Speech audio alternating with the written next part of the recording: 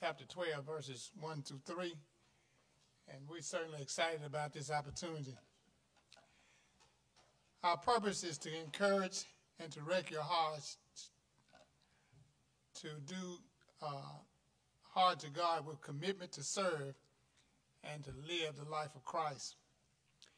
Each year, the Boulevard Men uh, have a men's annual men's retreat. Uh, and this year it was December the 29th and the 30th at the Carter Retreat in Thyatira, Mississippi.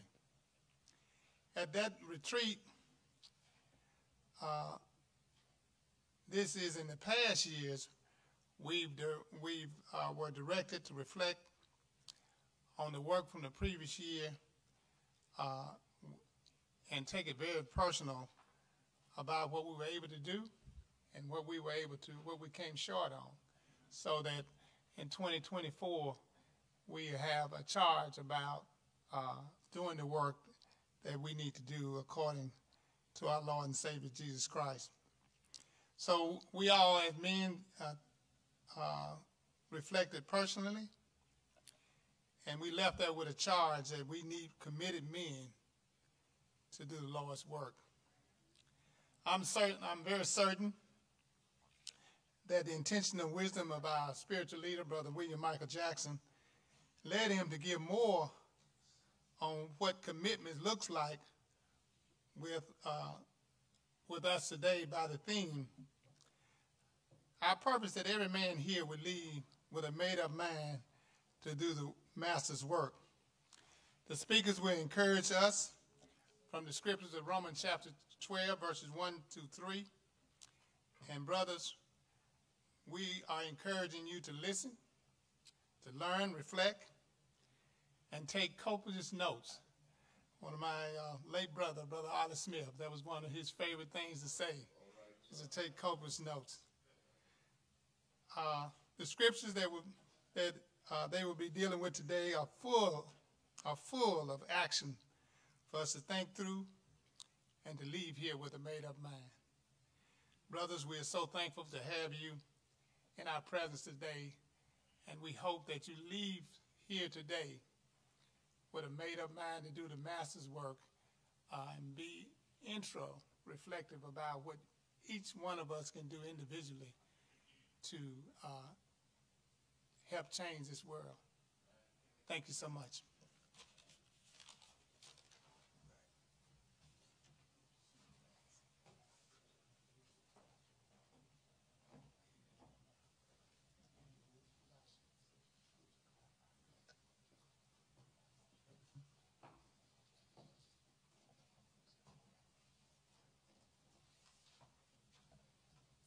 Good morning, brothers.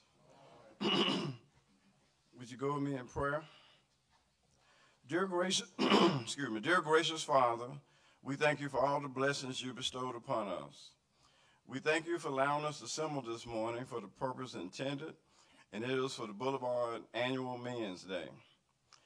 We thank you, Father, for allowing these brothers to attend, to make the time in their schedules to be available for learning more about your word, your will, and your way. We pray, Father, that you would be with those who, who, who've come. We pray that you would give them the opportunity to gain more knowledge and also to give them the courage necessary to take that knowledge and apply it wherever they may be serving. We pray, Father, that you would also be with us as we go forward and help us to to understand what our role is in the church, in the home, as well as wherever we may be. Father, our theme is a made up mind to be men for the master. And we pray, Father, that those who come behind me will be able to remember the information that they've studied as they present their topics, and also that they would do it with conviction and also in a way that can be easily understood. We just pray, Father, that for all the things that you do, we want to give you thanks. And we thank you most of all for sending your son to die on the cross for our sins so that we may have a right to the tree of life. We pray, Father, that as we go forward, you would forgive us of our sins as we honestly turn from them. And in your darling son Jesus' name, we pray and ask it all. Amen.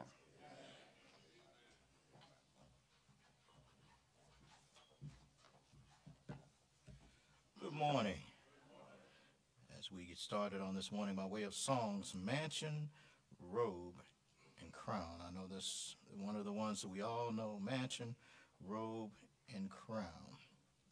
And I like to make sure that I don't miss my verses up, so sometimes I have to refer back to, to the words. So I'm gonna trade my earthly home for a better one, bright and fair. Christ left to prepare a mansion for children in the air. I'll join him in that land where tears no sorrow can be found. When I receive my mansion, robe and crown, mansion, robe and a crown there's always abound. Just let me uh, your throne surround. Lord, please reserve my mansion and crown. The weather there is always fair. There's sunshine day and night. No cold nor rain will fall there, for the sun shines ever bright. And I'll need no heavy garments. I'll just wrap my robe around when I receive my mansion robe and crown, my mansion,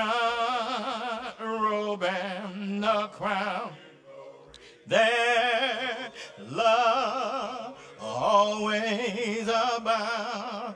Just let me your throne surround. Lord, please reserve my mansion robe and crown. My head is bowed and bloody now from the work that I tried to do. But one day I'll be rewarded with a crown so bright and new. I'll wear a smile so bright for there'll be no cause for a frown when I receive my mansion robe and crown, mansion, robe and a crown. Their love will always abound.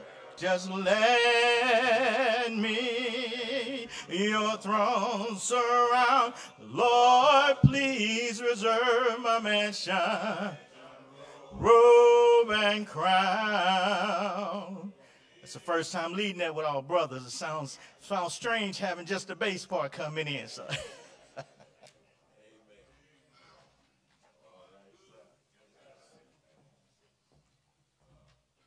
Somebody will say amen and hear this morning. Amen. What a mighty God we serve because he's good not just some of the time, but he's sure enough good all the time all the time, God is good. Amen, somebody. We are so thankful to the God of heaven for blessing us, first of all, to experience life uh, on this time side yet again, and then to find our way here uh, this morning to be a part of this annual Men's Day here uh, on the boulevard. Uh, I can't think of any better place to be on a Saturday morning Amen, somebody. Then in the house of God uh, with those fellow laborers in Christ uh, as we seek to try to learn better how to do uh, God's will. We have a good time in store uh, for you on this morning, and we uh, thankful again to your presence. Uh, toward the end of our program, we'll recognize all of our visitors, and we see a number of our brothers from uh, across the city, many from other areas, from East Jackson, uh, some brothers from down in Ruleville, uh, from down uh, Brother Billy Moore's place, and just glad to have you. Amen. Then, of course, always uh, glad to uh, look up and see our dear friend who is back home, William Jones. Amen. And he's in town, he and his family. Christian is playing his last game, I believe, at um, um, Christian Brothers uh, on today. And the family's here uh, for that, and, and always glad to have him uh, with us whenever he's in town. We are laboring from uh, this year's theme, a made up mind to be men for the master. Brothers, I, I don't have to tell you, we're, we're dealing and living in some difficult days. Not just in our society, but we are facing much in the Lord's church. Amen, somebody. And, and if the Lord's church now, regardless of what we do, the church gonna stand. Heaven and earth shall pass away, but my word, the church gonna stand. But I think it, it should behoove us that if we're going to help the church be what God wants it to be, we're going to have to be men. We're going to have to be real men. We're going to have to be men to have a made up mind to serve the master. And, and, and our prayer is, is that uh, what you will uh, gain from your uh, gathering and your time, our time here together today, is that when we leave here, we'll leave here uh, being better men, being men with made up minds to be all that we can be for Christ. Our opening speaker this morning is no stranger, uh, particularly to this church, a longtime friend of the Boulevard. In fact, uh, formerly the assistant minister for, I believe, about four years, uh, labored uh, along with uh, O.J. Shabazz, ultimately went to Klondike and now serves the Southeast Side and North Road uh, Churches of Christ. Don Burnell Holly is a good guy. He's a he's a great preacher, used all across this brotherhood, lectureships, uh, gospel meetings. Uh, he has been with us on a number of occasions here uh, on the boulevard. Uh, not only is he a good preacher, is he a good man, but he's he's a personal friend uh, of mine. Uh, our relationship probably spans better than 50 years. Amen. We used to travel the highways and byways together uh, when when we were coding and single. Yeah. And I'm gonna leave that right there. yeah. And God blessed all of us with good wives. Amen, somebody. He and I and Brother Mike Cathy and Brother Duran Cathy, and we just used to have a good time uh, in the Lord. And uh, we, we're just thankful that, that uh, our relationship has, uh, has remained constant uh, all these years. In fact, we, uh, my wife and I are godparents to his youngest son.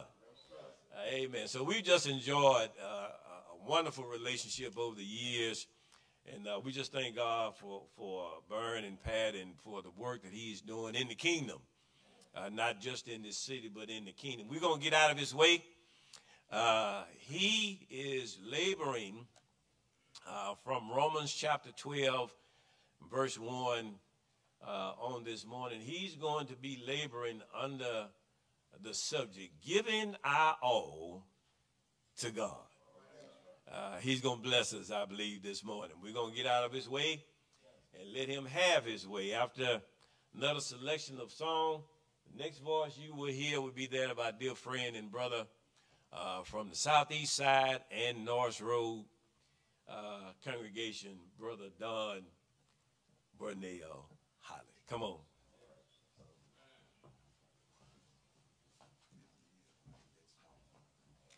Salvation has been brought down. Another one what's going to be odd hearing our brothers sing it. Jesus gave his life for ransom yonder on Calvary, on Mount Calvary, a cruel Calvary. Paved the way by blood that we might win a bright shining crown. Praise his holy name. Salvation has been brought down. Oh, glory, praise the Lord. Salvation has been brought down. Just go and shout and tell the world around. Tell it today. Tell it today. Just preach the word of God that we might win around. Just tell the law salvation is full and free. Just spread the news all over the land and sea. Tell it afar. Just tell it afar. Praise the Lord, salvation has been brought down. All alone without a friend, he suffered to pay it all. Oh, yes, he paid it all. Jesus paid it all. And in his blessed promises, sweet victory can be found. Just praise his holy name. Salvation has been brought down, oh glory. Just praise the Lord. Salvation has been brought down. Just go and shout and tell it the world around. Tell it today. Just tell it today. Preach the word of God that we might win a crown. Tell the law, salvation is full and free. Just spread the news all over the land and sea. Tell it afar. Just tell it afar. Praise the Lord. Salvation has been brought down. Let this assembly say amen. If you believe that salvation has been brought down, would you smile and say amen again? We want to first of all acknowledge the Almighty God as we continue to give thanks for the great and the preeminent head of the church, Jesus Christ, his beloved Son. He has been called the Rose of Sharon. He has been called the wheel in the middle of Ezekiel's wheel. Biblical scholars are somewhere debating about the relevancy and the interpretive nature of that, but this morning we do believe, and we're absolutely sure that he is the root and the offspring of David. He's the bright and the morning star. Max, Matthew, the tax collecting Jew, says his name is called Jesus. Purpose clause because he saves his people from their sin. It's a good time to be alive. It's a good time to be standing on top soil rather than top soil standing on us. Talking with Brother Backus a few moments ago, it was a few months ago when I lost 57 pounds, was headed to that long home in the grave. And I'm telling you, brethren, when you have a near death experience, it gives you a new perspective on life. Amen. All of us have got to get to the point in life where we've got to make up our minds we're not going to allow anybody or anything to worry us. What a mighty God we serve. Brother Jackson, thank you for the invitation to come uh, to play a small part in this great series of Men's Day lectures.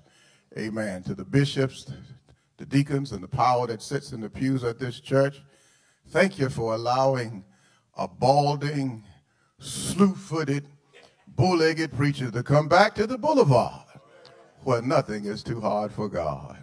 Brother Jones, it's good to see you, man. Amen. It's kind of intimidating to be in here with these great gospel preachers and a couple of these guys got PhDs. is kind of intimidating. Amen. But I'm from, to the point in life now where it just don't matter much at all. I'm just, let me break some verbs. I'm just going to do the little I can do and get out of the way and let these guys handle it. Is it all right to read the Bible in this church? Amen. I'm looking for my lesson to be on the screen. Amen. That, that, my granddaddy said, that is. All right, Romans chapter 12 and verse number 1. Romans chapter 12 and verse number 1. I'd like to, like the guy back there to fix the screen back up because I messed it up. All right. Are y'all all right in here? Y'all need to help me. Let me apologize to you. Good brother in our congregation at Norris, Brother Stanley Gordon, lost his mother. So I'm going to leave here running this morning because the funeral starts at 10. Please, in your private prayers, pray for the Gordon family because you know it's a tremendous loss when anybody loses their mother. Y'all are going to help me here. To the brethren who have come from Emerald City and from the Mecca this morning, it's good to see y'all. I see y'all, brethren. I got my glasses on. I see you. Appreciate y'all coming to support your preacher this morning. Now, the rest of y'all, y'all just strange. Brethren don't get up and come to church on no Saturday morning. Y'all some good brethren. I said, amen. I believe y'all got a chance to go to heaven. Amen. Praise the Lord. Is it all right to read the Bible on the Sabbath? Uh, yeah, all right. Romans 12 and verse number 1. I beseech you, brethren, therefore, by the mercies of God, that you present your bodies a living sacrifice, wholly acceptable unto God, which is your reasonable service. Under the majestic theme of made up man to be men for the master.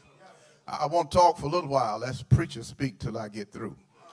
From the subject this morning, giving our all to God. Giving our all to God. Three homiletic hinges upon which this lesson will swing. Number one, divinity made up his mind to be the master for humanity. Point number two, mankind can make up his mind to be a man for the master. Then as we prepare to close, men can put their all in all into it. Y'all got time for this? Uh, a made up mind to be men for the master. The assigned subject, giving our all in all to God. We want to say, first of all, that the contextual setting and situation of our text under consider consideration this morning as we look at the 12th chapter of the book of Romans. In verse 1, we see a conjunctive word, a word therefore. That means that whatever Paul is teaching in the beginning of this chapter is connected to what he just said in the previous chapter. So conjunctively, we've got to address the context. Uh, Dr. Jones and uh, Dr. Billy Carl Moore will tell you that uh, anytime you teach the Word of God, if you take it out of context, you got a pitiful false pretext. And so, who is this now? This is the pristine Apostle Paul. I, I uh, say this all the time, and folk think I made it up, but I got it from William Jones. This is Paul. Uh, amen, y'all. Y'all know Paul? He says he's the wandering itinerant tent maker from Tarsus. Don't that sound good? Sound like I made it up, but I stole it.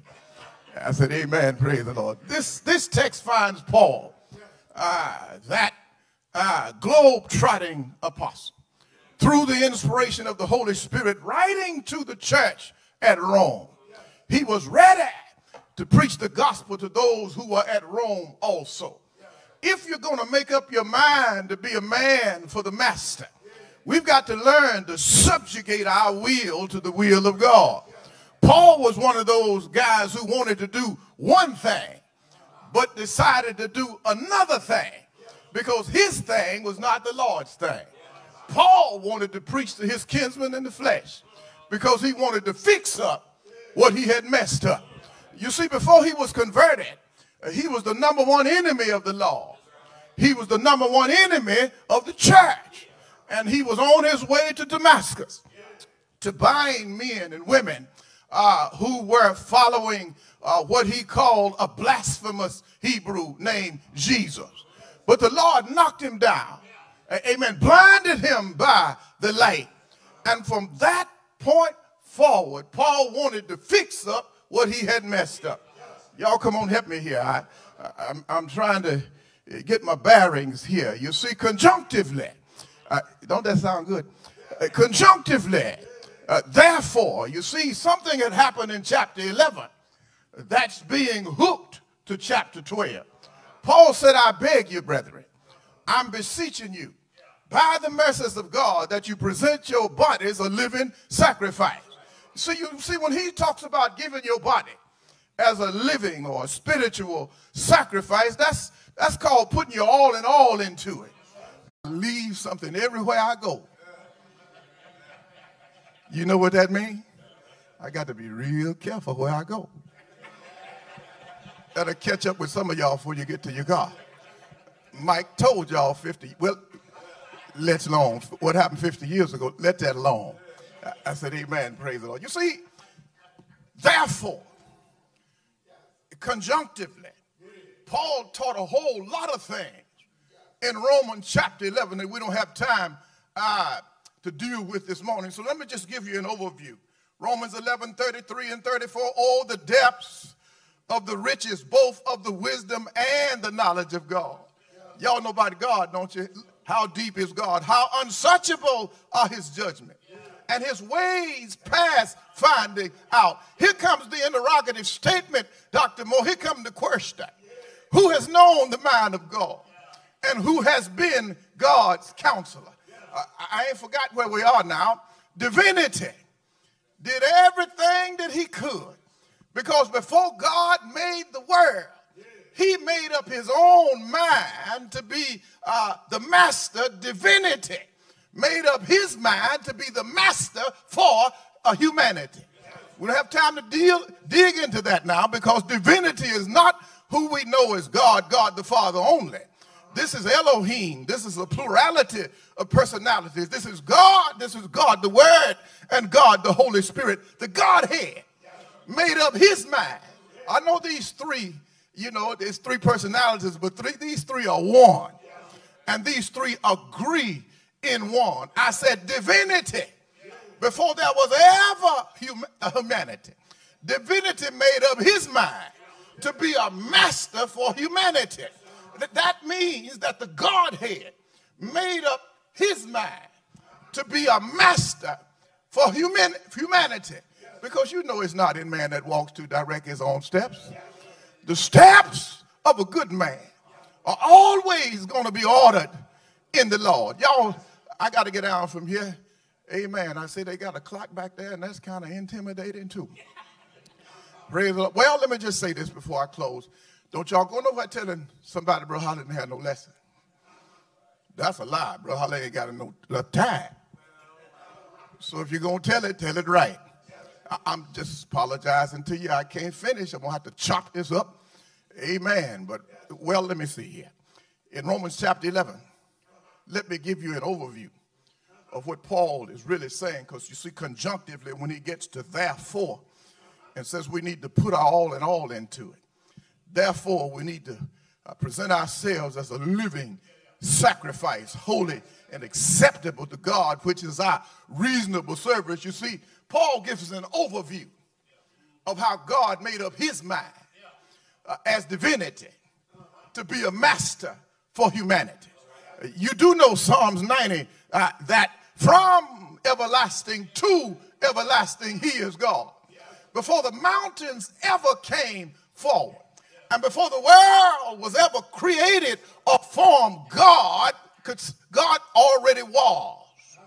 Amen. You see, when, when Moses writes, In the beginning, God created the heaven and the earth, that's not the beginning of God. That's the beginning of the creation of God. And so God takes humanity and human time and inserts it into uh, an eternity where he already existed.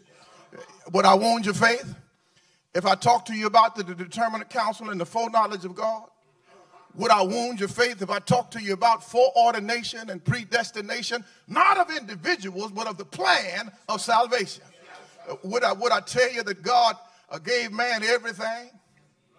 Because he made up his mind.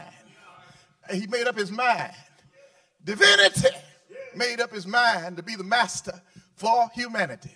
But you know us, don't you? We'll mess up free lunch. Mankind lost the eternal life that God gave him. But look, ain't on, you don't have to panic. I said he made, I don't want to wound nobody's faith here, but he made the plan before he made the man.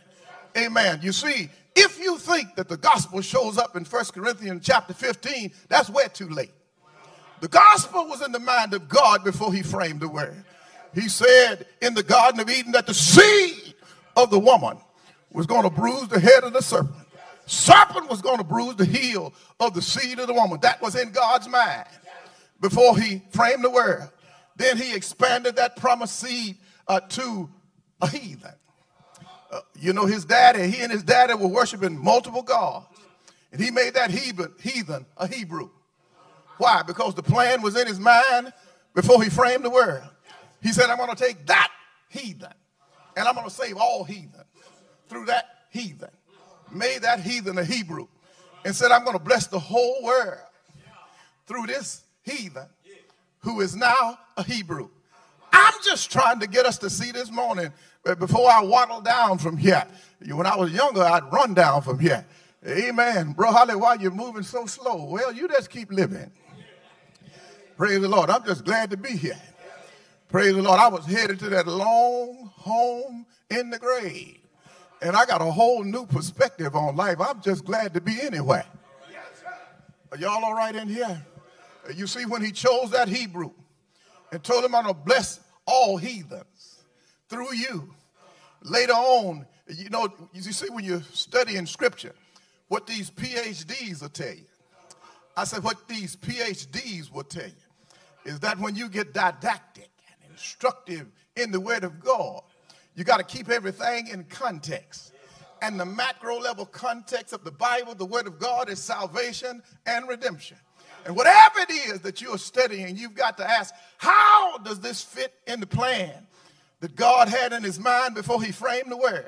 Then you got to say, how does this fit in what God revealed to his servants, the prophets? Because Amos said, where salvation and redemption are concerned, God will do nothing. I say he'll do nothing except he first reveals his secret or his hidden truth through his servants, the prophets. When you get to the new covenantal order, there's going to be something called the mystery. The mystery, mysterion. That doesn't mean you can't understand it. It just means it was hidden in the mind of God. Even when he revealed it to the prophets, he didn't make it perfectly clear like he would in the new covenantal order. You see, the mystery of God is that although we are Gentiles and we are not Hebrews, we are not second class citizens. God had, God had us in his mind before he framed the world.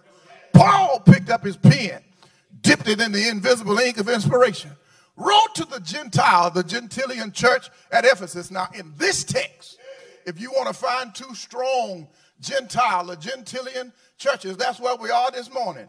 We got to be men who make up our mind to serve the master. And don't you dare think that we are second class citizens. We are Gentiles, but God had us in mind before he framed the world. Ephesians 1 1 through 5. The specificity of verses 4 and 5. Paul, a Hebrew, who was the number one enemy, who is now the number one advocate. Paul writing to the Gentile that obeyed the gospel at Ephesus. Paul says God chose us. Why did he choose us? Because before he made us, he made up his mind, amen, to be as divinity, the master for humanity. Chew on that. I mean, it sounds deep, but it's real simple. It's early on Saturday morning. So everything got to be simple this early in the morning. I said, Amen, praise the Lord. Chew on that. Gentile, we are not second class citizens. Oh, yes, the plan has got to come through the Hebrews. But don't you, it's, look, it's going to take 4,000 years. But a thousand years, don't take it out of context, when it is past. See, we, we, we take that literally, but keep it in context. Old Testament, New Testament principle. A thousand years when it's in the rearview mirror seems like a long time to humanity. But in the mind of divinity, a thousand years is just like a day. So even though you see, it's not a snapshot, it's a process. Amen. Don't you dare feel second class to nobody. As Gentile, y'all know we ain't Hebrews. I mean, we act like Hebrews, but we're not Hebrew. But as Gentiles, we were in the mind of God before he framed the word. That Hebrew apostle, apostolic warrior said, God, Gentile church at Ephesus, chose us in him before the foundation of the world. I say, I'm closing now. Well, it don't sound like you're closing. I'm closing now. What Paul says in Romans chapter 11 is that you Gentiles are now in the kingdom, in the church, in covenant relationship with God because those Hebrews failed. Amen. But don't you start tripping because you were grafted in. And don't you mistreat those Hebrews because they failed because of unbelief. But if they turn and be faithful to God, God is able to draft them back in. So there is your conjunctive therefore. Here's why that's therefore. Now, God wants us to you know, as Gentiles. He wants Jews and Gentiles. You see, Jews and Gentiles are not going to be, Jew, look, Jews had to learn you can't be saved just because you're a Jew. You, you, can't, salvation is not in the flesh. Amen, amen. You see, the, the, the Hebrews have got to experience something called the adoption of sons. Are y'all with this? Paul picks up his pen. Uh, you know, he, he writes to the churches plural. So we say the church at Galatia, but that ain't quite right. It's the churches plural in the region of Galatia. Amen. And when he gets to chapter 4, he says that Jesus was born of a woman. Jesus was born under the law. Purpose clause to redeem those that were under the law, that they might do what? Receive the adoption of sons. Every Hebrew. That's what Paul was saying congruently in Romans chapter 11. Uh, you're going to be saved. Look, look, you, you've got to be saved by the adoption option. And then when he says to the Gentiles at Ephesus, you know, he chose us in him. That's Jude, the writer, and the Gentile Christians, the recipients. He chose us, Jew and Gentile, in him before the foundation of the world. So I can close now. Amen. I said, I can close now. Bro, Holly, you can't close there where maybe you wouldn't if you was teaching, but I'm teaching this morning. I'm closing now. Well, you said that a minute ago. Well, this ain't no helicopter. I ain't squatting down now. Got to have a little runway. Are y'all all right? Are y'all going to help me close? Okay. God made up his mind. I hope this doesn't wound anybody's faith divinity made up his mind to be a master to humanity before he framed the word. Because he had foresight, because he is omniscient, he didn't foreordain or predetermine anybody to sin. He just saw before it happened that mankind would miss the mark, that mankind would be iniquitous, that mankind would commit transgression that mankind was sin. So he made the plan before he made the man. Romans chapter 11, the Gentiles are in because the Jews fail.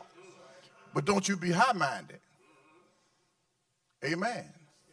Because behold, both the goodness and the severity of God. Whole lot more meat on the bone, but time is up. And so what happens is the Gentiles were grafted in, and the Jews fell out. He came into his own, his own received him not, but as many as did receive him, to them gave he power to become sons of God. In other words, when they get on the outs, if they be faithful, God can graft the Hebrews back in. Second point mankind can make up his mind to be a man for the master. What better example than Paul? The number one enemy of the church, the number one persecutor of the church, the one who gave testimony that led to the death of those who were in covenant relationship with Christ. He had made up his mind to do everything he could to destroy the influence of this so called prophet from Nazareth. But when God knocked him down, when he learned better, he just had two questions. Number one, who are you, Lord? I'm Jesus. All right, I got that. I ain't like these folk today. I don't need 40 years to turn. I want to know who you are. I'm Jesus. See, he, was, he wasn't just a Hebrew, he was a Hebrew of the Hebrew. He believed in spirits, not like the Sadducees. See, they were sad, you see. Are y'all all right in here? He was a Pharisee. Once he learned that it was the Lord who knocked him down, he just had one other question What would you have me to do? Lord, wouldn't this world be better if folk only had two questions? Who are you, Lord? And what would you have me to do when you show me who you are and you reveal to me what uh, you want me to do? Is it at that point that I can make up my mind? Amen. To be a man that serves the master. Oh, yes, it's possible. It's possible for us to make up our minds. But Brother Jackson said, we need to be giving our all to God. What better example than Paul? He was all against it. Now he's all for it. He's got all of his heart, mind, soul, and spirit in it now. On his third missionary journey, when the folk wanted him to stay, he said, I must needs make this feast that be at Jerusalem. And on his way to Jerusalem, the prophet took the girdle, bound him, gave the prophetic word. The man that uh, owns this girdle shall be delivered into the hands of the Gentiles. He'll be delivered into the hands of that iron beast. He'll be delivered into the hands of Rome. Can't you hear David saying in the second psalm that the kings of the earth stood up with the rulers of the people? It's a prophetic word. Say this one more time. God will do nothing except he first reveals his secret or his hidden truth through his servant the prophet. You better stop telling folk we don't follow the Old Testament. Jesus said, All things that are written in the law and the prophets and the psalm concerning me must be fulfilled. When you find the truth, it's going to fulfill two things. Number one, it's going to fulfill what was in the mind of God before he framed the word. And number two, it's going to fulfill what he revealed through his servants, the prophets. And so the prophet said, whoever got this girdle, he's going to be delivered into the hands of the Gentiles. Now, see, if you don't put your all and all into it, you're going to turn right there and run away. But Paul says in verse 12 of chapter 21, when he heard these things, Luke writes, both we and they of that place, we begged Paul. I said, we begged not to go to Jerusalem, but Paul was giving his all to God. What did Paul say when he learned that the man that uh, was bound by that girdle would be uh, uh, in serious trouble? Paul said, Look, I don't know what you, just like y'all, I don't know what y'all are looking for to get this morning, but this is what you're getting. Paul has said, I don't know what you're looking for me to say, but here's my answer. What do you mean to weep and to break my heart? I'm all in.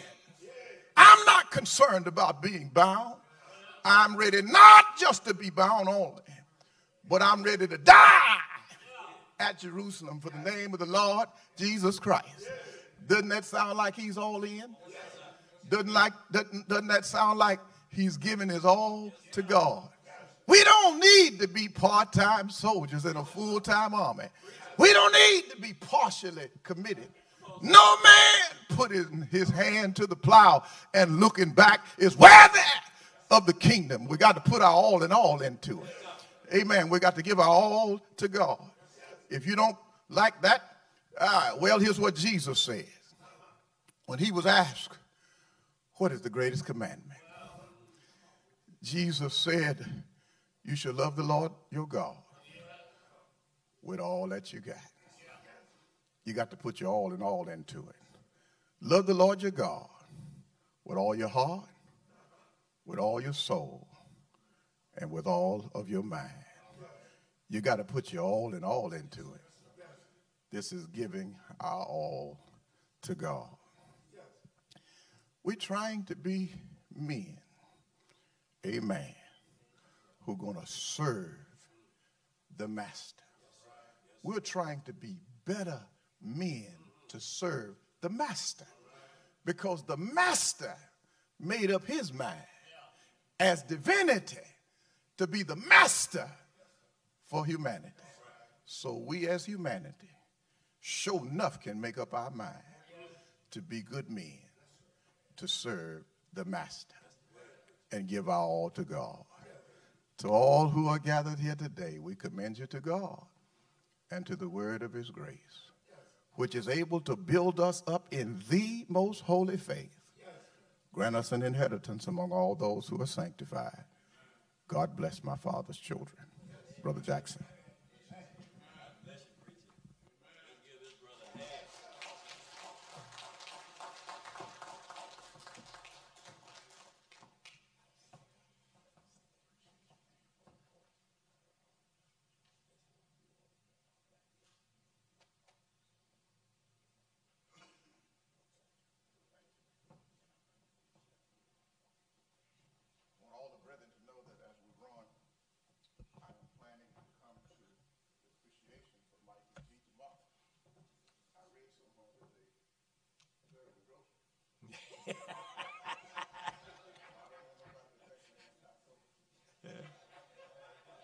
and, and they got some good groceries. Amen.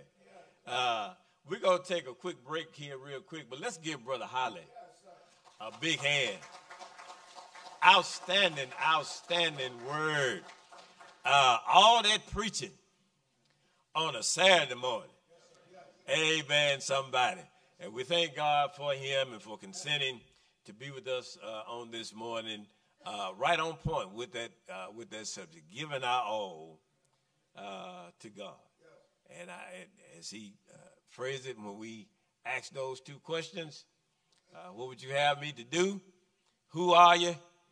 It ought to help us to make up our mind to be men for the master. We're going to take a quick break uh, for about five or ten minutes. We'll reconvene uh, at uh, about 9.50, and then we'll introduce our workshop facilitator for this morning, uh, following our break. Uh, water, bathrooms uh, out in the foyer. about five or ten minutes, we'll reconvene, and then we'll move further with our program. God bless you.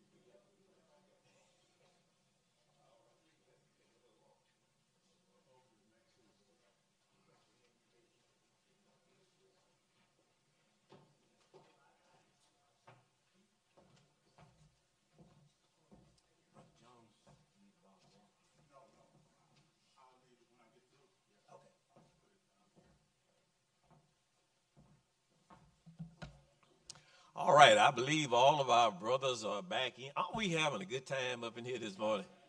Amen. Amen.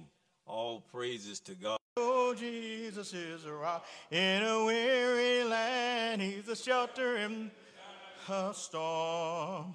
A shade by day, defense by night, a shelter in the time of storm.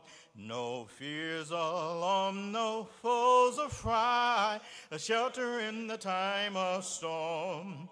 Oh, Jesus is rock in a weary land, a weary land, yes, a weary land. Oh, Jesus is rock in a weary land. It's a shelter in the time of storm.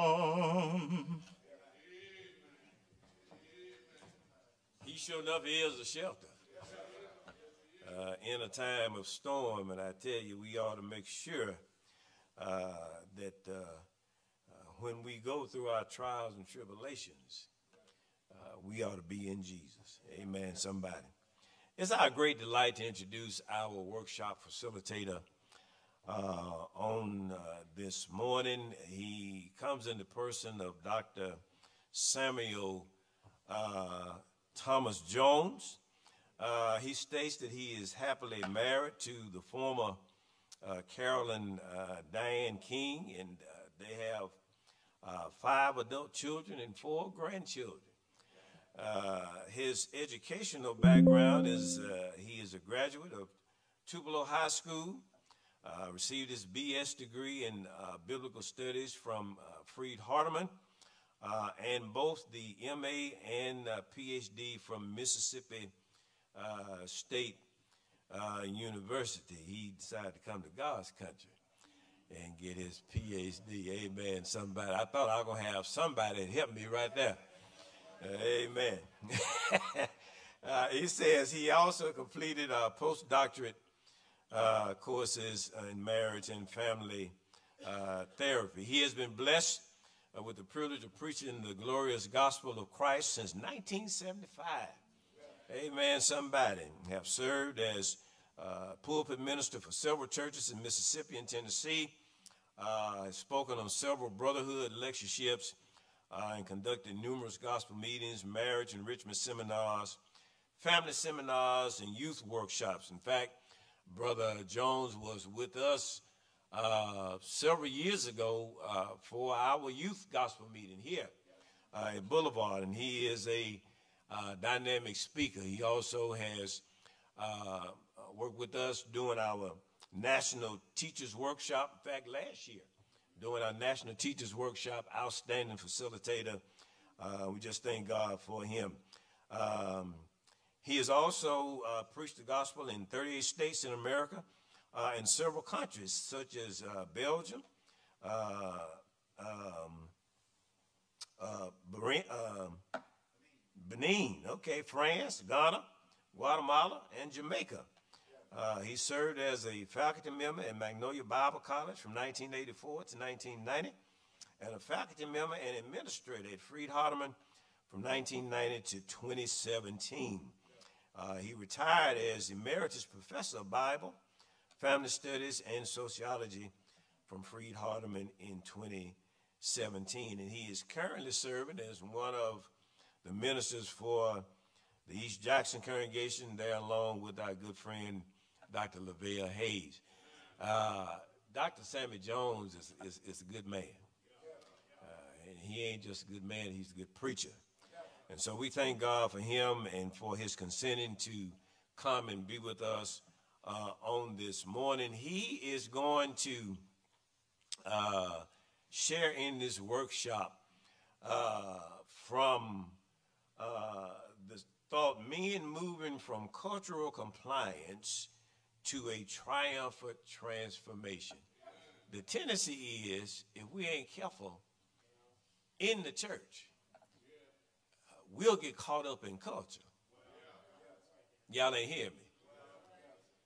But we, we got to make sure that we're going to be men for the master. Uh, we we got to get engaged in a triumphant trans- transformation for the Lord. And, and, and Dr. Jones is going to help us right there. uh, this morning. Let's loose him. Uh, we're going to get out of his way after a uh, verse of uh, selection of his choosing from Brother Ford. The next voice you will hear will be that of our dear friend and brother uh, from the East Jackson Church of Christ, Dr. Sammy Jones. Brother. Restore my spirit, Lord. I need restore, Lord, to know that my heart is weary.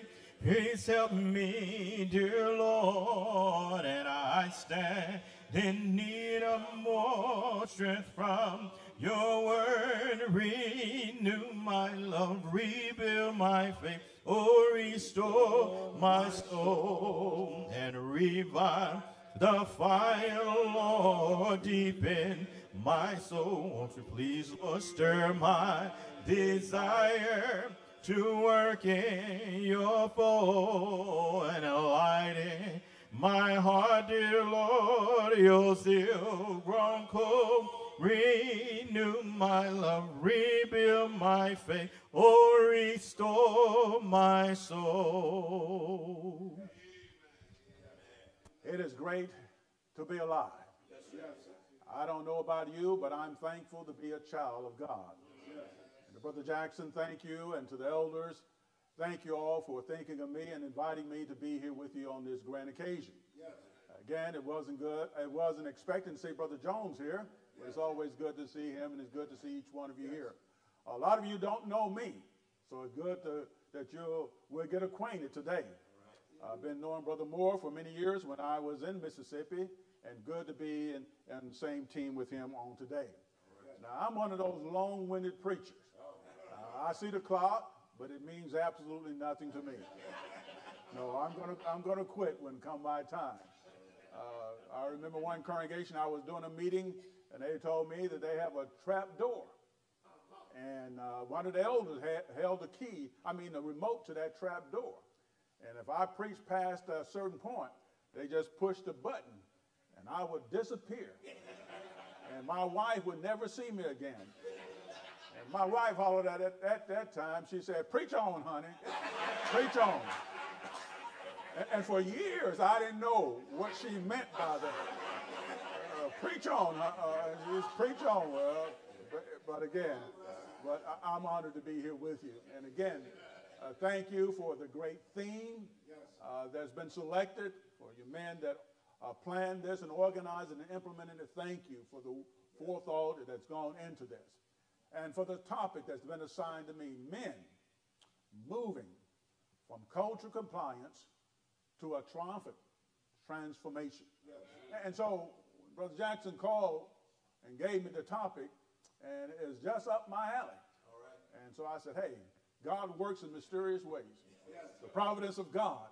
Uh, being that my background is sociology, we're talking about culture and how culture uh, impacts us. And so hopefully today, when you leave here, uh, you'll have a better understanding of what I'm going to be talking about. So here's my goal. And again, I hope that you don't sit there and I'm not going to read that verbatim to you. That's just for you. I've got to lay the foundation. In just a moment, we're going to get to you doing some work. Okay, so I hope you brought your pencil with you. But, uh, but my goal, and I highlighted in yellow on the PowerPoint because those are the words that I'm going to put focus on. I want to help us to develop a, a mental picture that when we leave here, I have a better mental picture of the kind of man God wants me to be. And being the kind of man God wants me to be means that there's that T word. There's a transformation. Yes. We've got to be transformed. And as I look over the audience, most of us were at that age that that transformation pretty much have already occurred. But what we've got to do is help this younger generation, this younger generation to come on because we're not going to live forever. And if the church is going to be strong, if the church is going to be what God would have it to be, we've got to help our young men to understand what a transformation means. And so that's what I want to try to help you with today. So, so that's the goal. Now, in order to achieve the goal, you got to have what? An objective. Now, I have four objectives. And so I'm the kind of preacher like to tell you what I'm going to do and try to carry you where I'm going to go. All right, so here's where we're trying to go today as we try to achieve that goal is to give you what? A mental picture. That when you leave here, understand this is the kind of man God wants me to become, the kind of man God wants me to be. Now, how can we help others to get to where God wants them to be? And that's what my objective is. And so the first objective, based upon uh, Romans 12 and verse number 2, yes. That's been assigned to me, first thing I want to do, there's some words in that title that Dr. Jackson has assigned to me that I need for us to explain. And so we're going to look first at some words to be sure that we're on the same page. Is that all right? Yes. The second, I got to explain Romans 12 and verse number 2. And so those are the first two things that I'm going to do is to try to explain the words, then explain the, the meaning, and then we get to your work. And the first work is this. There's a mindset. Why is the mindset important? Proverbs 23, verse 7. As a man what? In his heart. You, you got to have the mindset and the right behavior. You see, when you talk about culture compliance, what are we talking about? The world. The world wants you to have a mindset. The world wants you to have a mindset because that mindset is going to determine your what? Your behavior. Your, uh, you are a product of what you think. And your thinking is a product of the groups and organizations that you are associated with. All right? And we all come out of the world. Hey, come on, we weren't born in the church. Brother Jackson's already talking about 50 years ago when they were out well, we won't go back to that.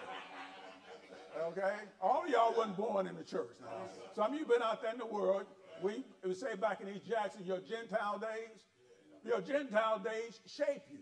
But now that you're in Christ, you got to let go of what? Your culture.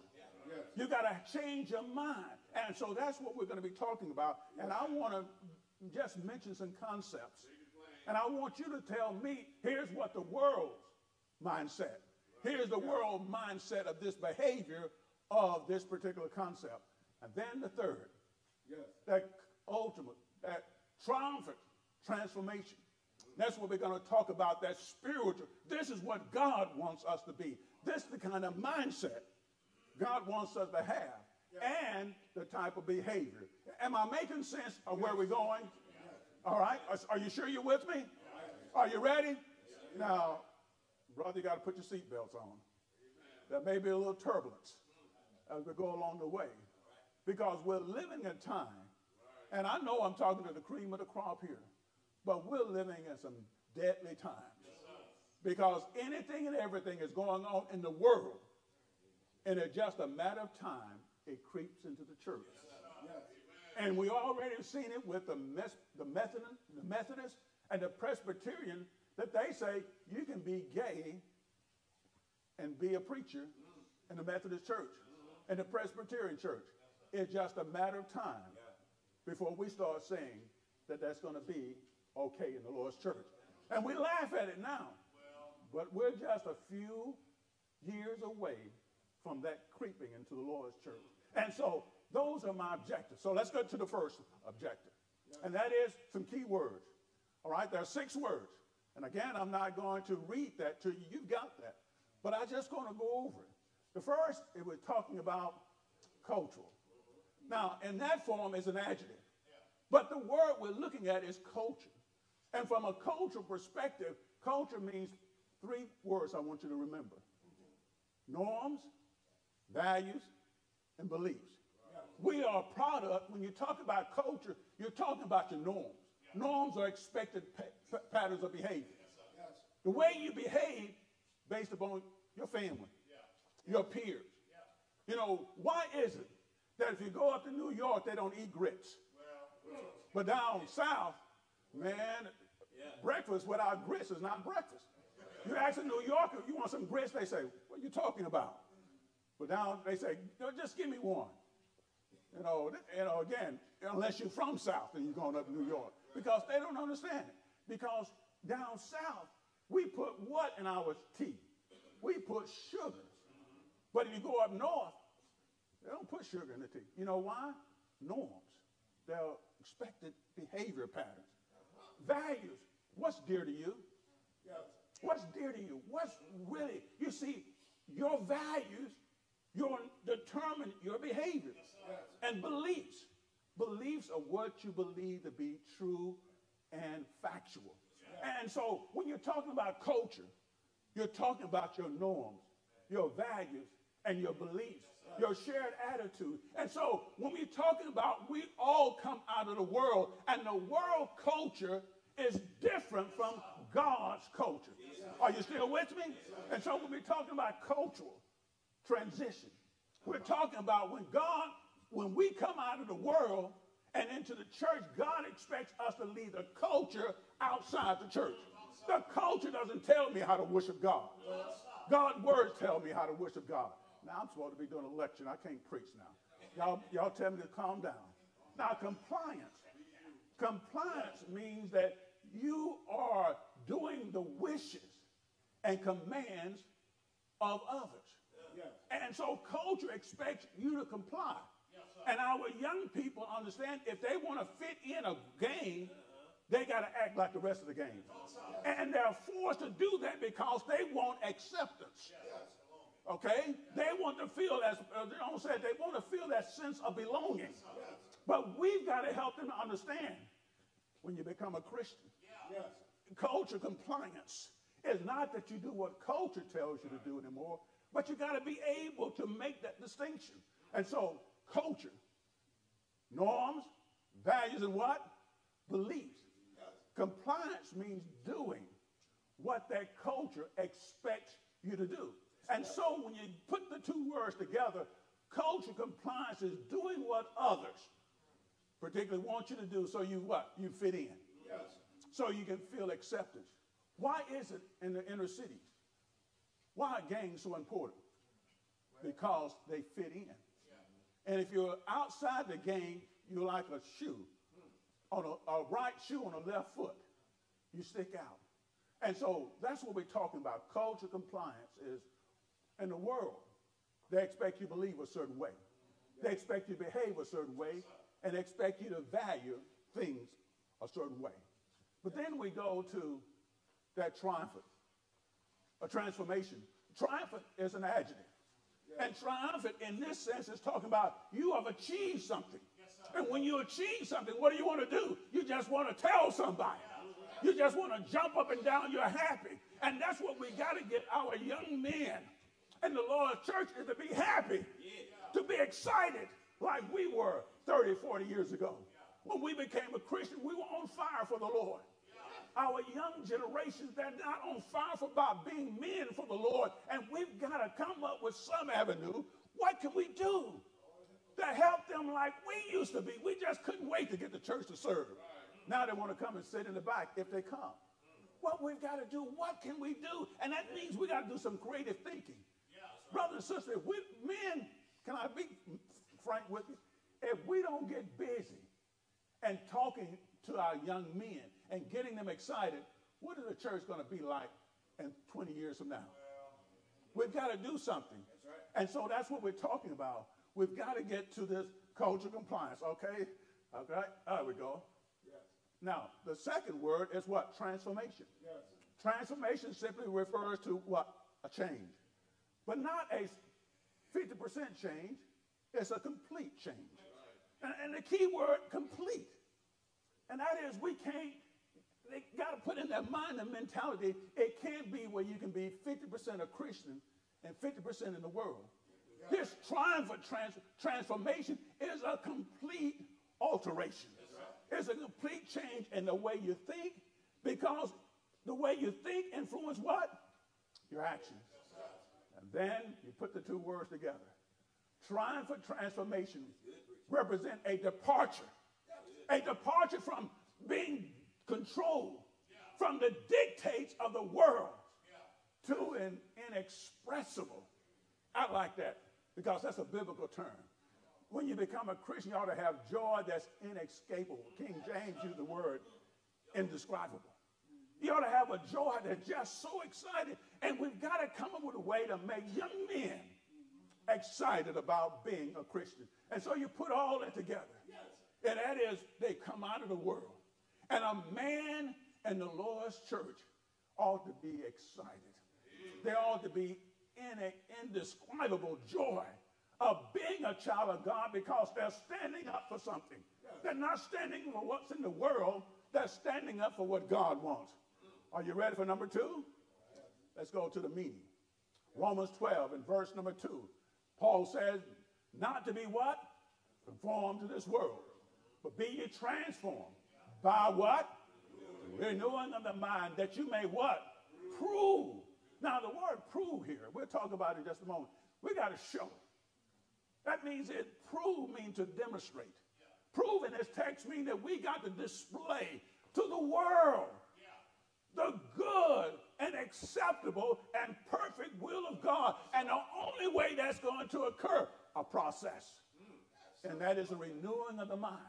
The process of letting go the culture. But if you don't put something in here, it's not going to come out here.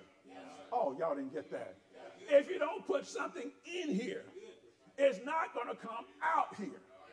And so when it comes to being a husband, oh, there we go.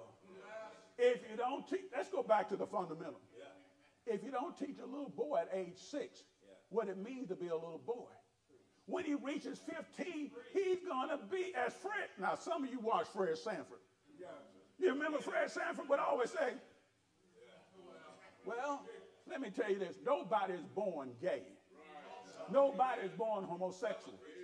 You are a product of what you think. And, and notice, you say, let me just show you this. Any one of you could become homosexual. You know why? It's because it's a choice. It, it's a choice. Don't think, think I'm lying? Get locked up for life in a prison. Oh, come on. Come on. After about 20 years, a man started looking good. All right? Now, I know you say, oh, you were just as straight as an arrow when you went in there. But either you, either they start looking good or you pick up a bar of soap. Oh, come on, y'all, come on. You reach your, and your whole life has changed. And if it's a, if you, if you, if you were born that way, you can't change. Paul says in 1 Corinthians 6 and verse 11, some of you used to be, but you have made a change. Why do you make the change right here? And now, let's get to what Paul is saying here. Paul gives four exhortations. Four exhortations. Here's the first. Do not be what? Don't be controlled. Conform. Don't be controlled. Don't be under the dictates of the world. What's the world? Your culture. Don't let your culture tell you what it means to be a young man, what it means to be a man. Let the word of God tell you, and our culture changes the word of God stays the same. That's why we're the same. In 50 years now, we ought to still be the same kind of men. Even though culture has changed. Stay with me. Be what? Transformed. Be completely changed. Don't be 50% changed. You see, some men want to be 50%, 25%. God said at first lesson, Brother Holly, it got to be all. And then he says a third, how do you do it? Here's the process renewing the mind.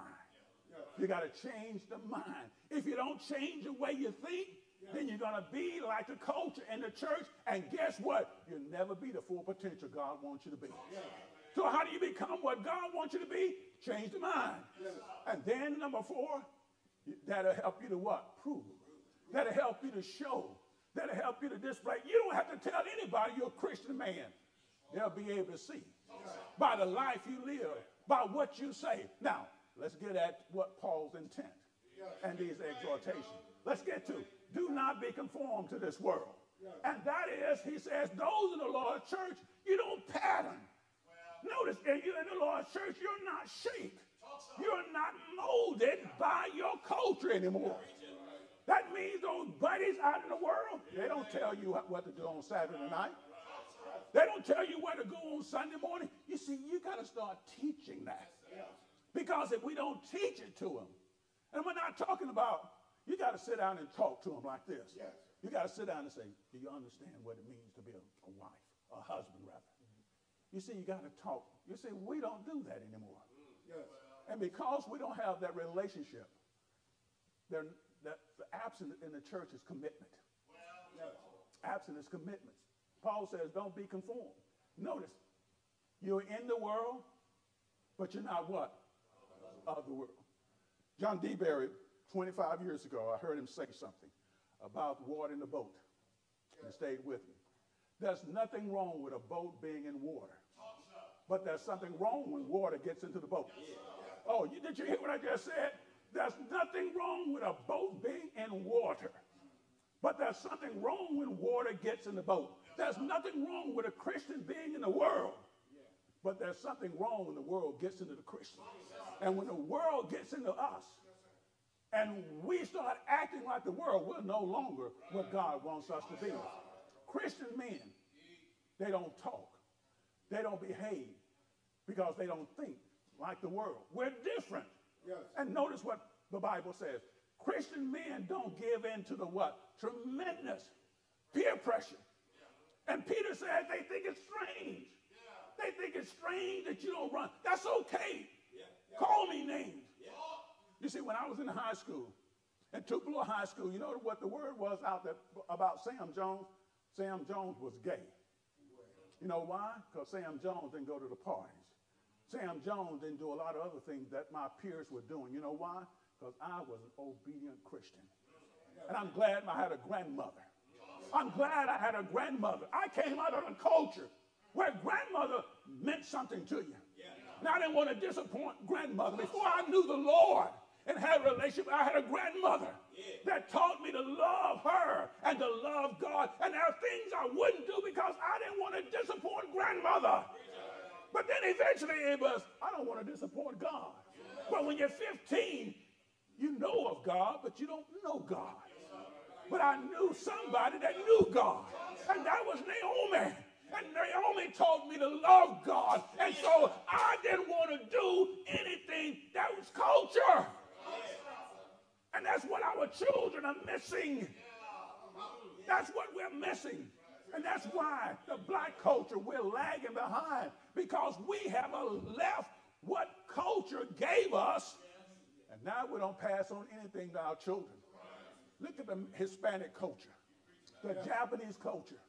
These are two cultures that have moved into America and they're taking America by storm. You know why? Look at the culture. Oh man, let me move on. But we have gotten away from that. And we need a culture in the black church, and that is God's word supersedes everything. Oh, let me keep on. Transform. Transform means that there is a, in the Greek word, that's where we get this word metamorphosis. Yes. But metamorphosis is that that's a change. Yes. And we're changed from being what? A caterpillar uh-huh. to a butterfly. Oh, you didn't, you didn't get that, but just stick with me. Listen to this. Uh-huh. You see, a caterpillar in one thing uh-huh. for a little time. But then he has a complete, do you get the word? Complete different thing. Come on, is a worm that's what?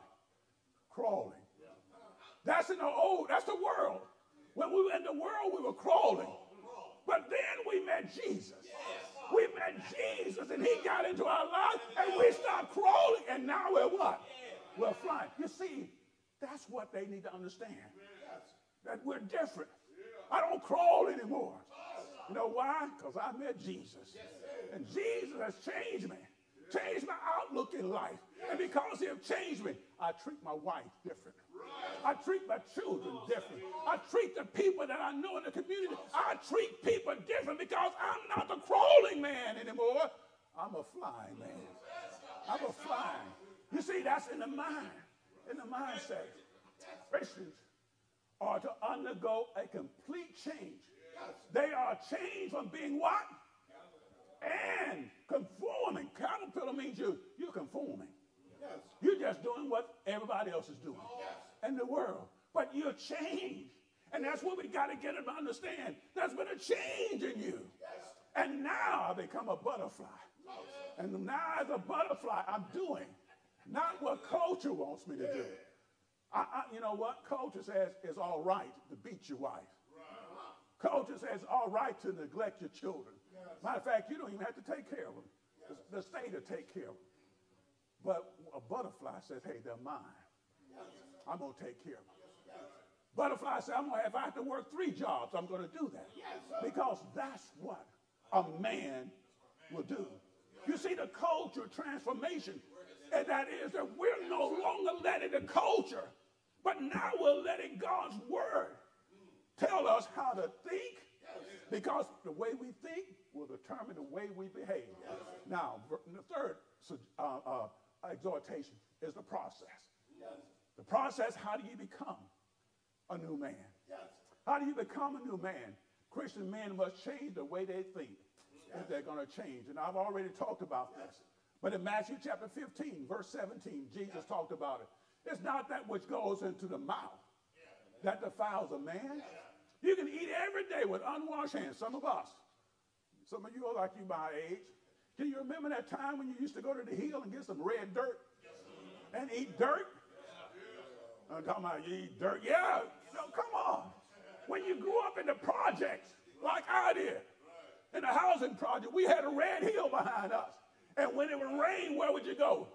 Grandmama wants some dirt. And when, if it's good enough for grandmama, guess what? It must be good. So here I am. Why did I eat dirt? Because grandmama was eating it. Oh, okay, come on. Jesus said, if that which goes into the mouth, it doesn't defile the man, but that which goes into what? The heart. And that's when he was telling them, cut culture loose. Because if you don't cut culture loose, you can't be my disciple. And that's why culture must be deleted. We understand that terminology nowadays. And it has to be replaced. That's why he says in Ephesians 4, you got to put off. That's delete. Then you got to put on. That's replacing. That's what he's talking about. And how do you do that? With the word of God. You're led by what? The Spirit. You led through the Spirit, through the word. In Acts chapter uh, 5, verse 32, when you obey the gospel, he gives you the Spirit. But that Spirit has to be fed. And we in Ephesians 5, verse 18, we got to be filled with the Spirit. Now, think about this. If you see a man who's filled with wine or alcohol, you can tell it. Oh, come on. Again, going back to Sanford and Son. Yes, that's one of my favorite. They had a man on there that used to drink all the time. Now, what was his name?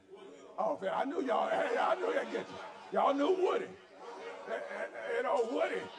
Was married. To, what, what, what was his wife's name? Esther said, if you don't put that baller down, I'm going to twist your neck off. You know, but again, how can you tell someone under the influence of alcohol? The way they walk and the way they talk.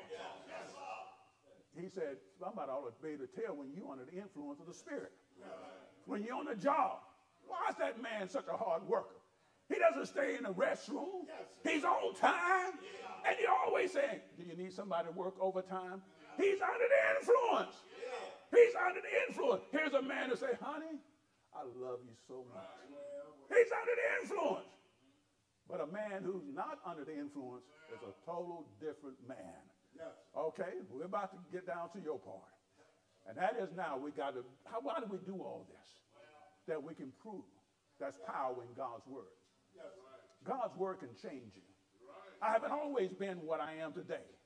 But I am what I am today because of the good and acceptable and perfect will of God. And so there's power in God's word. Now, let's get to, with a little time that we have left, let's get to section three. And that is the mindset of some concepts of culture compliance. And, so what I want you to do, I want you to either write it down or put it in your mind. Let's go to the first one, under culture. When the world, when it comes to love, what does, it, what does love mean to a man in the world? What does love mean to a man in the world? Okay, so so again, write down your definition. What does it mean, love, for a man in the world? Here's what I got. Love self more than anything. That's what culture said. Hey, uno. Who's uno? Me. I love God. I love myself more than I love God. I love myself more than I love my wife, children, and anything else. You see, that's the culture. Now, if you and come into church like that, guess how much you're going to give on come on Sunday? Guess how you're going to take care of your children? Guess how you're going to take care of your family? You know why? Culture says you make sure the self is taken care of. But see, if that's all our men know, then that's why the church is in the problem is in. Woman, or women rather, ah, they're to be used and abused. You see, that's the culture. And if you're a young man, 15, 16, 17, 18, and that's all you've been taught, and now you've been baptized, and that culture is still influencing you, and you're wondering why he hadn't cut the world loose, because he hadn't took, cut what? Culture loose. See, we got to get them to understand. There's a triumphant, what? Transformation. Okay, what's the next one? God. Oh, boy. Before they become a Christian, what? Hey, someone tell me. What's the, what's the world concept of God? Speak about it. What's God? God's not a priority. Someone else. He doesn't exist. What? Anyone else? What's the world definition of God? Here's what I see. Doesn't exist. And he's made up by whom? Man. There's no God. I'm God. You see, and if you go around thinking you're God, God tell you, you got to put your faith. You Remember the rich young ruler? Yes. They're going to be a lot of people running. That's why our young men, they see themselves as a God. And it's difficult for them to come to God because they see themselves as a God. Yes. I'm not going to let no book written by a white man tell me what to do. Y'all ever heard that one? Oh, that, that's a book written by a white man. I'm not going to let no white man tell me what to do. God is a white man married in any other group. Guess what black women are doing? They have become lesbians. And because they are lesbian, they don't respect men, they love themselves. And, oh, I don't have time to deal with all this. They're seeing these tendencies in their children, but they won't say anything because they want their children to be happy. And so that's why we're seeing I don't know how it is. I know in Jackson we have a problem in our junior high schools. I don't know what about in Memphis, but I got this tendency to believe same thing's going on here. Let's look at father. What it means to be a father. You're just a sperm provider. Absentee. That's the world. Just provide sperm. You don't have to be there for them. What's a friend? Friend's a dog. Friend's a dog. That's, that's my dog. That's what it said. That's my dog. That's someone to get in trouble with. That's that definition of a friend. A son is someone to give the parents and grandchildren to raise. Oh, you didn't hear that. Let me say that one again. You know what a son means? A son is just someone to give parents. There we go. Thank you all. It's just someone to the, hey, I'm, my job is just provide my parents with some grandchildren so they can raise. And can't you see this is a culture? And we can go on and on, but I got to go on to, to my next. A job. That's just, why am I going to work? A job just controlling. That's why they don't want to work. Because they see a job as a controlling. It doesn't allow you to be yourself. And I don't want anybody telling me what to be. I want to be my own man. Do you understand culture? Now let's go to our last one. Yes. Now that you've been transformed, let's look at how the Christians see these things. Yes. First, love. You love God, and then you love whom? Yes. Others more than yourself. That means you love your wife more than you love yourself. That means you love your children more than you love yourself. Now, contrast that with, again, the culture. Can you understand? See, that's what we're talking about. This is what God wants, is for there to be a culture trend. But that takes some teaching. You got to sit down and talk to your sons and to your grandsons and explain to them what it means to be a man, a Christian man. Not a worldly man. I'm not controlled by the culture. God blessed me with three boys. And I'm proud of them. I hope you, I know you're proud of your children. But those years growing, letting them grow up in the little town of Henderson, Tennessee, was able enable me to teach them three things norms, values, and beliefs. And those three men, they understand. They're all American. Yes, I taught them. My, my oldest one, Eric, when he was four years old in Starkville, Mississippi, came home one day and he said, Daddy, Daddy, I want to marry my friend. Then he said, I want to marry Stevie. Oh, boy. Rhonda, get in here. That was a teaching moment. He loved his best friend, Stevie. And that's where dad had stepped in. You're going to marry Stevie. The day's going to come, and I hope you understand, you love girls. You see, you got to teach them you love girls. And if you don't teach them that, that tendency can stay there. And then when they turn 14, 15, they experiment. Oh, you know, I'm, I'm telling you, they experiment. Mom and dad not there, they experiment. And if it becomes a good experience, they adopt that as their action. That's why you got to talk to them.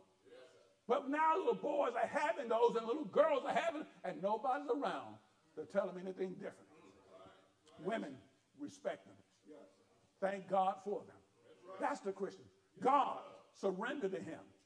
And, do you get the point? And go on with the others. And I want you to think about these. Alcohol, drugs is to be avoided. It's not to be tampered with.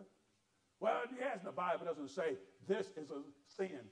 But the Bible tells me in Proverbs 23, avoid it when it's what? When it's red. Avoid it. I tell you what, I tell people, and I should tell my boys this growing up, your mom and I, we have a good marriage.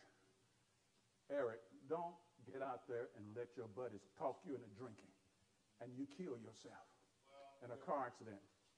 You know what? Your mom and dad, we're going one of us going to blame the others. And you know what? It, it destroys a good marriage, a good family. Yes.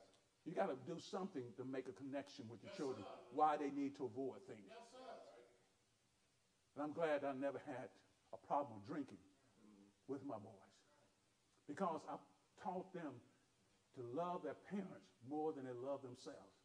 That's why you avoid alcohol. Why do your little brothers got to come to your funeral? Because you decided to get out there and drink and drive with your buddies and kill yourself. You see, you got to change their values because their values shape their behavior. In closing, we go through the rest of it. Now, I want to close with this. I want you to do this, and that's it. We've gone through each one of these already. The other side. But I want to get to the last point. I want you to write down one lesson. I want you to do three, but I want you to write down one because I want, I'm going to call on some of you that I want you to share. What's one lesson that you take from the days? What is something you take home with you today? because it's good to come and do this. But if you don't crystallize something in your mind that you take with you, that you leave it on your way back home and say, you know, I can use this. Yes. I, with my grandchildren, my young people back at church, I can use this. The young men back there, I can use this. What, can, what is one thing you can take back with you?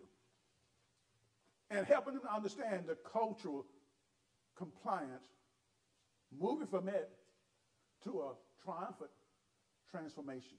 Yes. What's one thing you can carry with you? And I got three minutes. Okay? Now, yes, thank you. Be a leader and lead by example. Why? Why is that so important? That's it. They may be two years old, but they're watching you.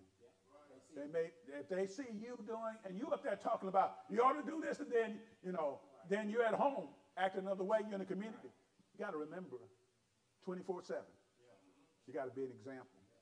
Because if when young people see hypocrisy, they lose all respect. You can't tell them anything.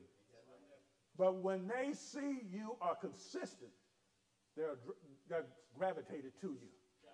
And that's why it's so important that if we're going to talk about a cultural transition, we got to be sure that we are there. Yeah. Because if we're not there, they're going to say, that's a hypocrite. You can't tell me nothing. Someone else. Come on, I, I, I'm a teacher. I can, I can point. I don't know a lot of names, but I can point it. Yes. be aware and take advantage of teachable moments. Great. Teach. I mean, we've got two good thoughts thus far. Teachable moments, because you never know. You may not get it again.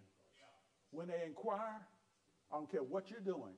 Stop and teach. Stop and follow up. Follow up. Teachable moments. Be an example. Yes, over here. I think it's very relevant to take this, this outline and these cultural points about Air Jordan and about these things, and really take them, set up a time with young men in our congregations to tell them that that's not okay, that's just culture. That's And culture is not Christianity, and that's a problem, you know, I- it really is, I- I'm, I'm very passionate about, you know, this, uh, this, the movement that we have with homosexuality. Yes. And I think as Christian people, we gotta be very careful about voting for men that support it. Yep. I mean, come on. We, we got to teach values, norms. They got to be consistent, and they're they're not. They don't see people by race. They see people by standards. We see people by standards, and if we don't stand up for what's right, you know, then who will? Hmm. Okay, we've got to stand up for what's right, and they got to see that in us. Yes. Your, your, def- your definition of culture resonated. Norms, values, and beliefs. That's, that's what has to be Yes. communicated to our young people. Yes. Yeah, it got to be. Okay, one more. My time is up. Back here.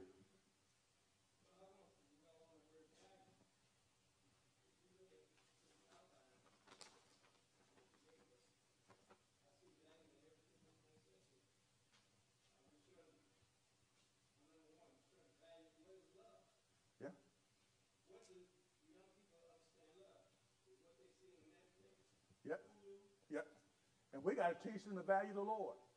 And when you value something, it'll go with lesson number one, Brother Holly. It becomes first in your life. My time is up. I hope I've said something. I hope I've given you something that, that when you leave here, it can help you to help our men to be men. May God bless you.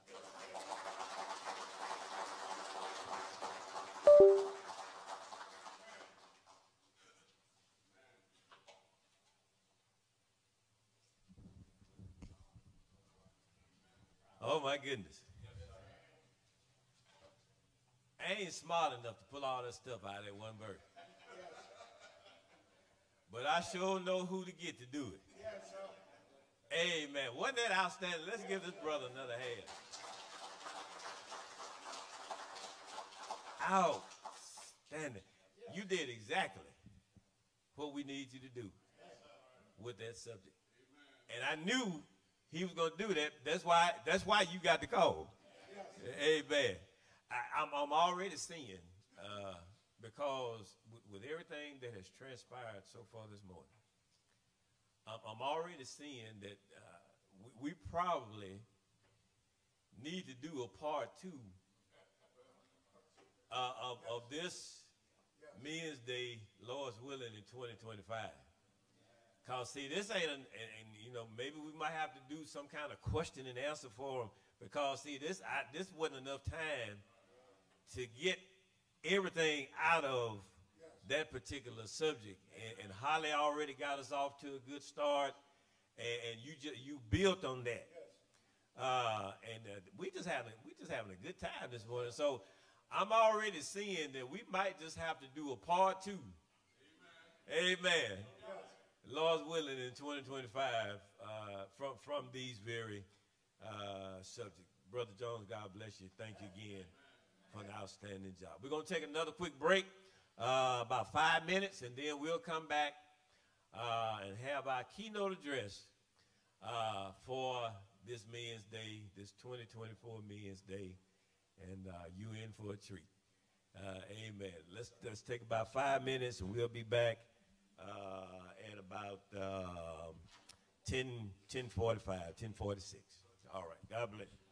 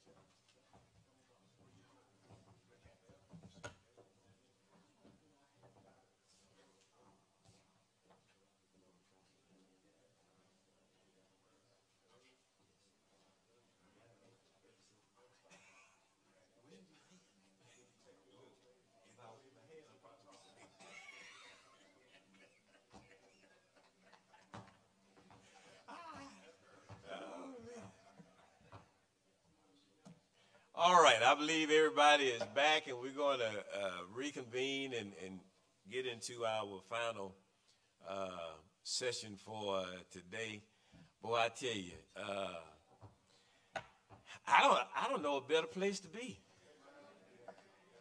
on a Saturday and, and, and have this good a time, man. I tell you, uh, I just can't can't stop talking about the good brother Jones. Very detailed. Amen. And, and outstanding job of brother Holly. And now we we getting ready to uh, have the icing on the cake. Amen. We're gonna have a, a selection of song by song leader, and then we'll come uh, with the introduction of our uh, keynote speaker for for this morning, brother. Brother Folk.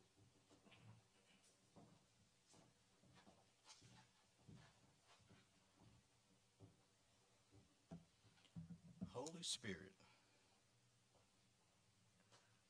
Holy Spirit, dwell in me. Touch my eyes that I might see all your goodness, grace, and power. Stay beside me every hour. Uh, be my drink, be my living bread. Uh, give me shelter, keep me fed. Holy Spirit, Holy Spirit, dwell in me. And Holy Spirit, comfort me.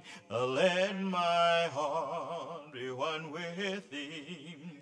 Uh, When I'm worried, soothe my mind. Let me sweet contentment find.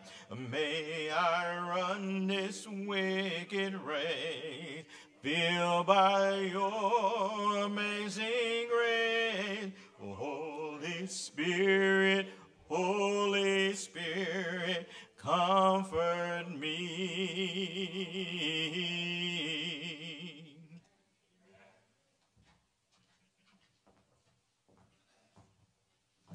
Once again, we're just grateful to the God of heaven for his goodness toward us and how he is truly blessing us uh, on this morning. And we're so grateful to all of you for taking the time out of your Saturday morning uh, to be here with us in this annual uh, Men's Day. Uh, it is our great joy and delight to introduce uh, to some and present probably to most uh, our keynote speaker for uh, for today. Certainly no stranger uh, to our brotherhood. He comes in the person of Dr. Uh, Billy Carl Moore, uh, who is a native of Cleveland, Mississippi. Uh, he is the son of the late Eva Hallinan, Halliman and the late James Halliman. He is a graduate of East Side High School, uh, Delta State University, and he received his doctorate from the University of Mississippi. Dr. Moore obeyed the gospel under the leadership of his father and the gospel brother James A. Hadley Sr. at the age of seven. Amen. Dr. Moore has served as a minister of the Church of Christ uh, in Ruleville, Mississippi since 1980.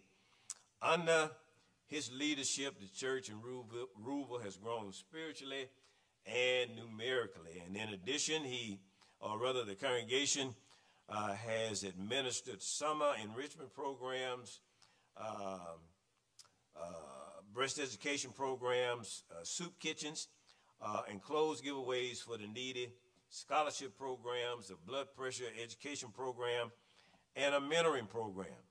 Also under his leadership, uh, share groups were organized at the local congregation uh, to carry out the ministries of the church. Dr. Moore has preached uh, on Men Day lectureships, state and national lectureships, uh, and have traveled throughout the, national, or the nation, rather, preaching the gospel.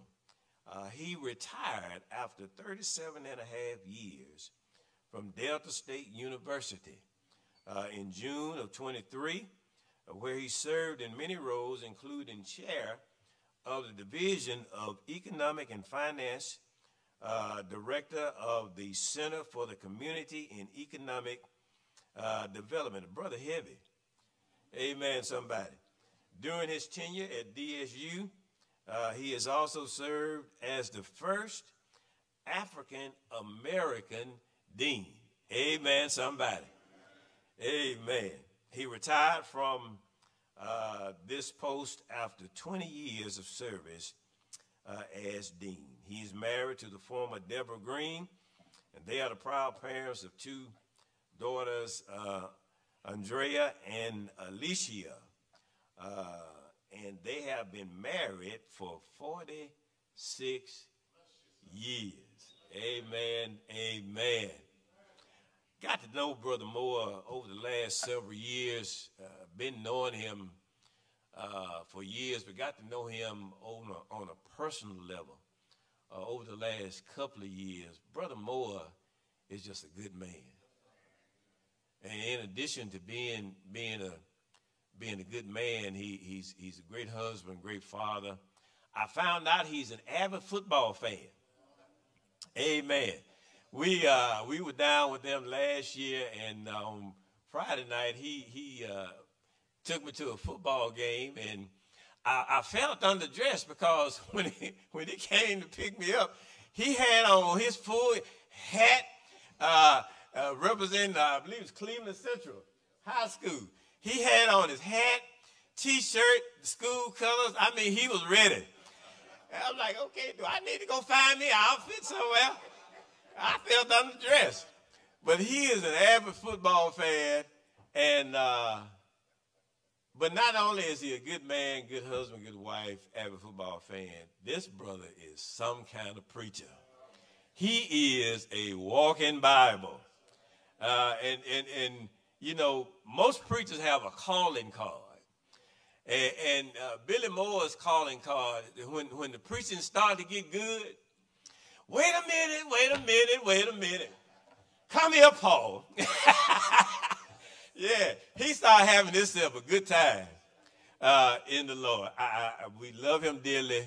Uh, just, just, just a great man of God, and we thank God for him for how he has uh, blessed the brotherhood for many years, and we're grateful that he uh, has consented to come and be with us on today. Uh, and he's going to close us out as he speaks to our theme uh, a made up man to be men for the master. We're going to loose him and let him go. Uh, after uh, next verse of a song from our song leader, the next voice you will hear will be that of our dear friend uh, and brother, uh, minister to the Delmar Avenue Church of Christ in Ruleville, Mississippi, Dr. Billy Moore. Come on, song leader. Watch ye therefore, you know not the day oh, when the Lord shall call your soul away. And if you labor striving for the right, then you shall wear a golden crown. You know that you shall wear, shall wear a crown. Oh, when the trumpet sound, when the trumpet sound, you shall, shall wear a crown. Oh, you shall wear a golden crown. Um, if you fight the good old fight of faith, and with patience run the Christian race, when you lay your gospel armor down, then you shall wear a golden crown. You know that you shall shall wear a crown. Oh, when the trumpet sounds, when the trumpet sounds, you shall, shall wear a crown. And know you shall wear a golden crown.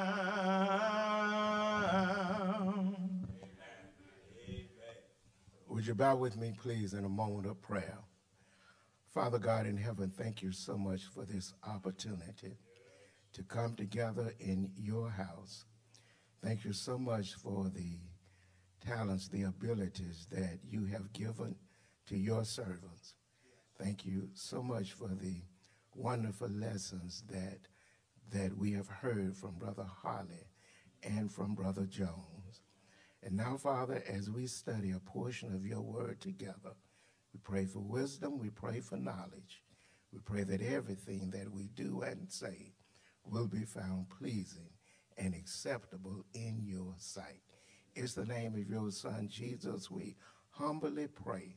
Let us all together say, Amen.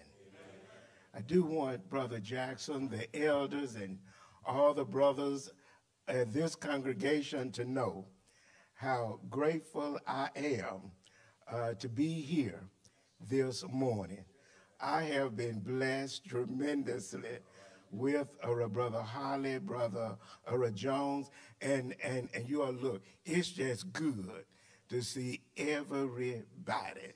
It's good to see uh, members from there, my Brother Williams, Brother Brother Calhoun. Good to see all the preachers now. Brother Jones, Brother Williams. Look, everybody, everybody. It is it is just good uh, to be here. Uh, I do know that I'm standing between us and lunch. So I am going to go ahead and get started. Let me call your attention this morning to Romans chapter number 12 again for emphasis. I want to read verses 1 and verse number 2. The Bible says, I beseech you, therefore, brethren, by the mercies of God, that ye present your bodies a living sacrifice, holy, acceptable unto God, which is your reasonable service. And be not conformed to this world, but be ye transformed by the renewing of your mind, that ye may prove what is that good and acceptable and perfect will of God. I want to speak for the next few moments from the assigned topic a made up mind to be men for the master a made up mind to be men for the master. As has been stated, the Apostle Paul says that we are not to conform to the world. We are not to allow the world to mold our thinking, our mindset, and our mentality. We are not to allow the world to, to define for us what a man should be and how a man should behave. Well, but we must all remember now that uh, when it comes to conforming and when it comes to transformation, that there was a time when we were out there in the world. I can't look down my nose at other people because at one time I was out there with them. Oh, how do you know it, preacher? Listen to the book in Ephesians chapter 2 and verse number 1. Paul says, And you have he quickened who were dead in trespasses and sins, where in times past ye walked according to the course of this world according to the prince of the power of the air, the spirit that now worketh in the children of disobedience, among whom we all had our conversation in times past in the lust of the flesh, fulfilling the desires of the flesh and of the mind and were by nature the children of wrath. I can't look down on you because we were in the same boat. But we don't need to walk like that anymore. Listen to the Bible in 1 Peter chapter 1 and verse number 14. Paul said, as obedient children, not fashioning yourselves according to the former lust in your ignorance. In other words, when we were out there, we were walking in ignorance. When we were out there, we had a messed up mind. But I got a question, church. How do you go from a messed up mind to a made up mind? Listen to, listen, listen, listen to the book in Ephesians chapter 4 and verse number 22. The Bible says that ye put off concerning the former conversation, concerning the old man, which is corrupt according to deceitful love, and be renewed in the spirit of your mind. And now, wait a minute, that you put on the new man. Wait a minute, wait a minute. What do we have, have to do? We have to put on the new man. Well, how do I put on the new man? I got to have knowledge in order to put on the new man. What knowledge do I need to have? Listen to the book in Colossians chapter 1 and verse number 9. Listen to what the Bible says. For this cause, since the day we heard it, we do not cease to pray for you and to desire that ye be filled. Wait a minute, watch, watch this now. You be filled with the knowledge of God, with the knowledge of his will. Wait a minute, in all wisdom and spiritual understanding. What does it take to have a new mind? Listen to the book in Colossians chapter 3 and verse number 10. The Bible said, put on the new man, which is renewed in knowledge after the image of him that created him. In order to put on the new man, I got to have some knowledge. Now, wait a minute, watch this now. I got to have some knowledge of God's will. But it's not enough to just have some knowledge. I got to have a made up mind that I'm going to do something with the knowledge. Oh, wait a minute, watch this now. Because we don't need just emotionalism. See, you can hear something and it can make you feel good. And you will go on for a little while. Oh, but when it gets tough, emotionalism will not work. Oh, wait a minute, wait a minute, watch this now. You uh, remember in Ruth chapter number one and verse number 14, you remember when, when Naomi left Moab to go back to Bethlehem. When she went to Moab, she had a husband, had two sons. Going back to Bethlehem, it's just her and her daughter in law. Well, she said to them, uh, I can't have any more, any more sons. And if I could have them, you couldn't wait long enough for them to grow up. Go on back home to your people and your God. Oh, look now. Both Ruth and Orpah lifted up their voice and wept. Oh, but watch what Orpah did. Orpah kissed her mother-in-law and went back. Ruth, on the other hand, clave to, embraced her, she wrapped her arms around her. I'm not going back.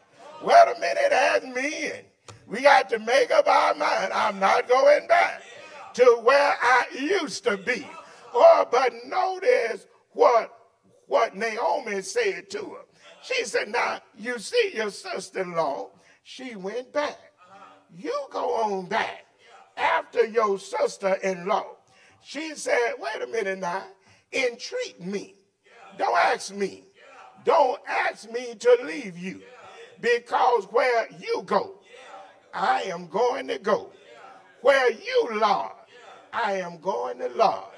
Your people shall be my people. Say now, wait a minute, wait a minute, watch this now. Where your, your God will be my God. Where you die, that's where I am going to die.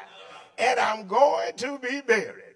May the Lord do unto me, and more and more so, if aught but death separate you and me.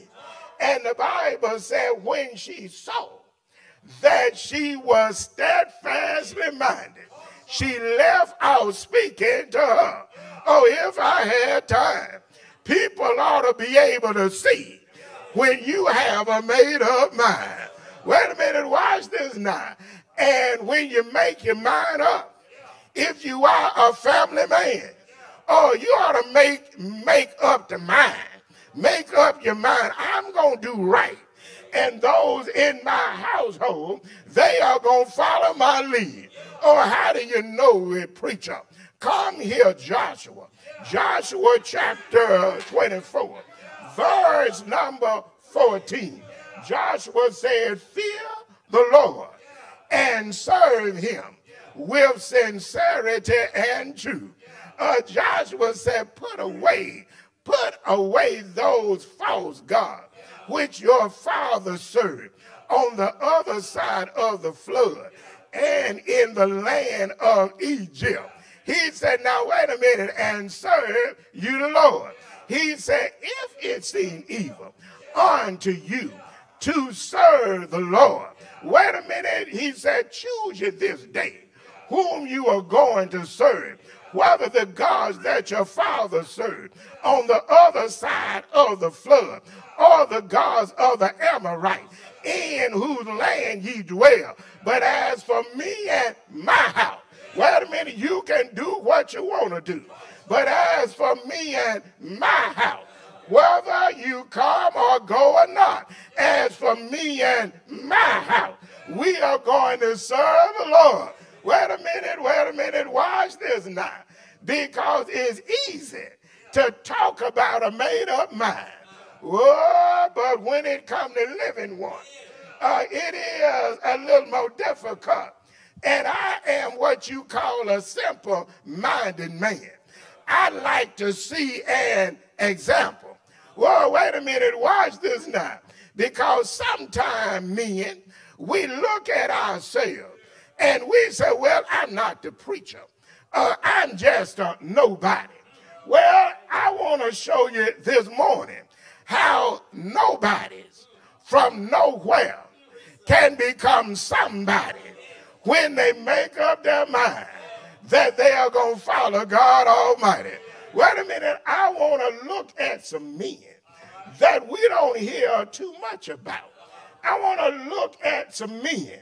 Now, bear in mind, Romans 15, verse number 4. The Bible says, Now, whatsoever thing were written aforetime were written for our learning, that we through the patience and comfort of the scripture might have hope.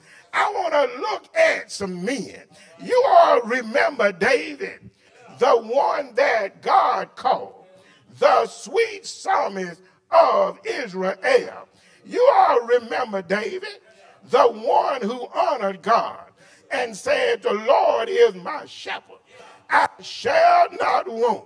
You remember David, the one who said, Oh, give thanks un, unto the Lord, for he is good, and his mercy endureth forever.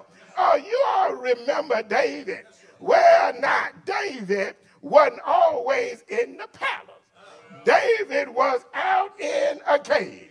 But David had, according to 2 Samuel 23, about 37 men. That was narrowed down to about 30 men. That was narrowed down to about three men. And these men, uh, some of them, they were known as the mighty men of David. Oh, wait a minute, wait a minute, watch this now. They were mighty men of David. Who was David? David was their king. They were mighty men of their king. Well, if I can look at them and see what made them mighty men of their king, then I can look at me and see what I need to do in order to be a mighty man of my king, God Almighty. Oh, wait a minute, watch this now. Come here. First Chronicles chapter number 11 and verse number 10. The Bible said these mighty men of David, they strengthened themselves in him, in his kingdom. Wait a minute, wait a minute. What did they do? They strengthened themselves in him, in his kingdom. Oh, it's for the master. And I'm staying at home when it is church time. Oh, and do you not know? One study said that a 70, 80% of men don't go to service